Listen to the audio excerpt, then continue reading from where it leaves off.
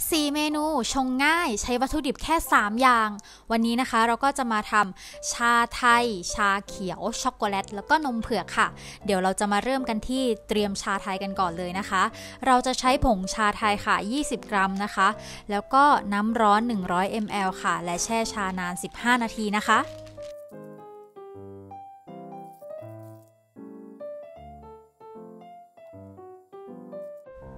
ในระหว่างที่เราแช่ชานะคะ ให้เทชาสลับไปมาค่ะ เพื่อให้ใบชาของเรานะคะ สกัดออกมาอย่างเข้มข้นนั่นเองค่ะ นี่นะคะเราก็จะใช้อีกแก้วหนึ่งค่ะ แล้วก็เทชาสลับไปมาแบบนี้นะคะ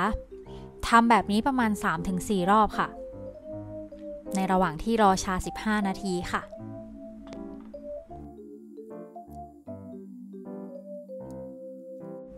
เมื่อชาของเรานะคะ ครบ 15 นาทีแล้ว ให้เรานำที่คีบนะคะ มาบีบบีบชาออกแบบนี้ค่ะ เพราะว่าจะมีน้ำนะคะ ซึมอยู่ในใบชาค่ะ เราต้องการที่จะเอาน้ำออกมาจากใบชานะคะ ให้เราค่อยๆ กดๆๆแบบนี้ค่ะ บีบบีบแบบนี้ค่ะ เราก็จะได้แล้วนะคะ น้ำชาไทยค่ะ วิธีเตรียมชาเขียวนะคะ เพื่อที่จะไปทำเครื่องดื่มในเมนูนี้ค่ะ เราจะเตรียมเบสชาเขียวก่อนนะคะ โดยที่เราจะใช้ใบชาเขียวนะคะ ใบชาตรามมือ 20 กรัม ตัวนี้ที่เราใช้นะคะจะมีกลิ่นมะลิค่ะ แต่ถ้าเพื่อนๆคนไหนนะคะ ที่ไม่ชอบกลิ่นมะลิ ก็สามารถเลือกเปลี่ยนได้ค่ะ ก่อนที่เราจะไปทำชานะคะ อย่าลืมลวกถุงกรองชาก่อนนะ นี่ค่ะใบชาตามือค่ะ เราจะเทลงไปนะคะ แล้วก็เติมน้ำร้อน 100 ml ค่ะ และแช่ชานาน 15 นาทีนะคะ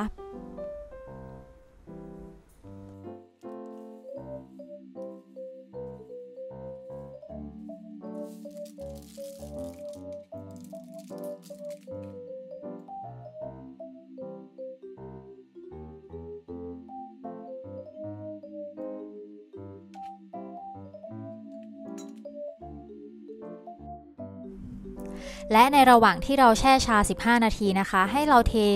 ชาและน้ำชาสลับไปมานะคะ เพื่อการสกัดชาที่เข้มข้นนั่นเองค่ะ เทสลับไปมาแบบนี้นะคะ ให้น้ำและใบชากระทบกันค่ะนี่ก็เป็นอีกเคล็ดลับหนึ่งนะคะ ถ้าชักชาสูงๆชาก็จะส่งกลิ่นหอมอบอวลมากเลยค่ะ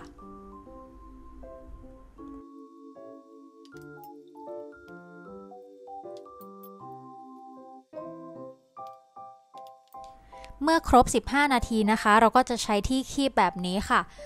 บีบน้ำชานะคะออกมาจากใบชาค่ะ นี่ค่ะ เราก็จะได้แล้วนะคะ เบสชาเขียวเข้มข้นค่ะเรามาเริ่มทำกันเลยนะคะ สูตรแรกที่เราจะทำก็คือนมเผือกค่ะ เราจะใช้นมข้นหวานนะคะ 50 ml ค่ะ แล้วก็ผงเผือกนะคะ วันนี้เราใช้ตราติ่งฟงนะคะ งกลิ่นเผือกเนี่ยเพื่อนๆก็สามารถปรับได้ตามความชอบเลยนะคะ หรือใครที่อยากจะทำแบบเผือกสดๆ อันนี้ก็ย่อมได้ค่ะ ไว้เดี๋ยวคลิปหน้าจะมาทำเมนูนมสดจากเผือกสดให้นะคะ ก็นี่ค่ะเราจะใช้ผงเผือกนะคะ 15 กรัมค่ะ บอกเลยว่าง่ายมากนะคะเมนูที่จะทำในวันนี้ใช้แค่นมข้นหวาน ผงกลิ่นต่างๆ แล้วก็นมสดแค่นั้นเองค่ะ นี่ค่ะ เราก็จะตวงนะคะ ตัวผงเผือกลงไปค่ะ เราจะตวงไว้ก่อนนะคะ แล้วเดี๋ยวค่อยคนพร้อมกันค่ะ จากนั้นนะคะก็ช็อกโกแลตค่ะช็อกโกแลตที่เราจะใช้นะคะ เป็นช็อกโกแลตเข้มข้นตราทิวลิปค่ะ หรือเพื่อนๆสามารถปรับได้นะคะ ตามแบรนด์ที่ตัวเองชอบเลยค่ะ เราก็จะใช้ช็อกโกแลตนะคะ 15 กรัม นมข้นหวาน 50 ml นะคะ บอกเลยว่าเป็นเมนูเด็กอ้วน ก็จะเติมลงไปแบบนี้เลยค่ะ ใส่ไปอีก อ่าโอเค ครบแล้วค่ะ เราจะพักไว้ก่อนนะคะ เดี๋ยวเราจะมาคนพร้อมกันค่ะ ต่อมานะคะก็คือ ชาเขียวนั่นเอง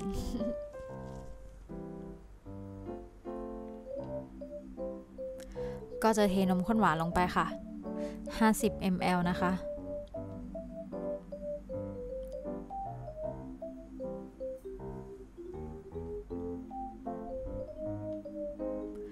ต่อมาก็จะเป็นชาไทยค่ะ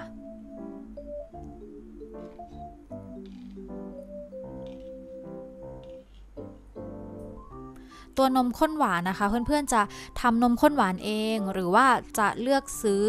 ตามแบรนด์ที่ตัวเองชอบก็ได้นะคะ ไม่จำเป็นว่าจะต้องเป็นแบรนด์นั้นแบรนด์นี้ อันนี้เลือกตามชอบได้เลย เราจะมาคนตัวเผือกก่อนนะคะ นี่ค่ะเราก็จะคนให้เผือกกับนมข้นหวานนะคะ เข้ากันค่ะ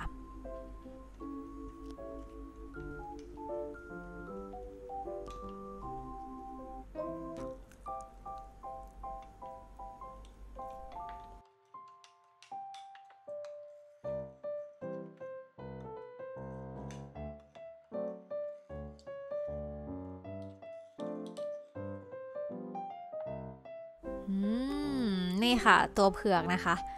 ก็จะมีความหนืดๆแบบนี้ค่ะ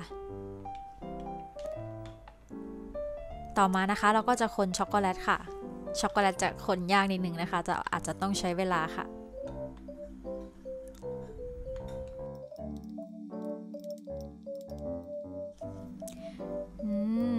นี่ค่ะก็จะได้แล้วนะคะช็อกโกแลตแบบหนืดๆค่ะ แต่มันเหนืดเกินไปสำลีก็เลยเติมนมไปอีกนิดนึงนะคะ ตอนท้าย ต่อมานะคะก็จะเป็นชาเขียวค่ะ เราก็จะคนให้ชาเขียวกับ นมข้นหวานนะคะเข้ากันค่ะ เพื่อที่จะเอามาราดด้านบนนมสดนะคะ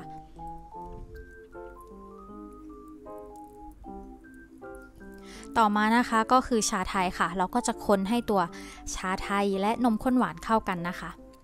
นี่ค่ะก็จะได้แล้วค่ะ เรามาเริ่มทำกันเลย แก้วที่เราจะใช้นะคะ เป็นแก้วขนาด 16 ออนค่ะ เราจะใช้นมสดนะคะ 120 ml ค่ะ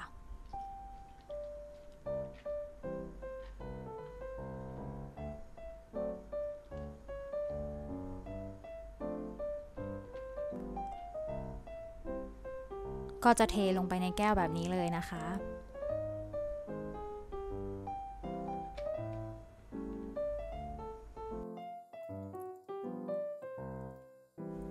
จากนั้นนะคะเราก็จะเอามาราดบนนมแบบนี้เลย นี่นะคะ เราก็จะได้แบบชาไทยแบบข้นๆนะคะ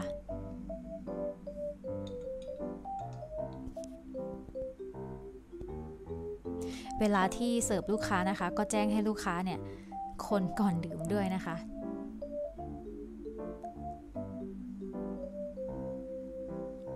ชาไทยที่เราใส่ลงไปในตัวนมข้นหวานนะคะ เราจะใส่ประมาณ 40 ml ค่ะ แล้วก็เราแยกไว้นะคะ เพื่อที่จะเอามาราดด้านบนให้มันดูสวยงามค่ะ ต่อมานะคะก็คือชาเขียวค่ะ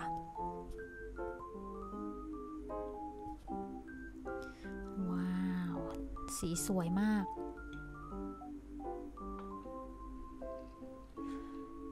แล้วก็นมเผือกค่ะ เผือกหอมมากเลยนะคะ เผือกของแบรนด์ติงฟง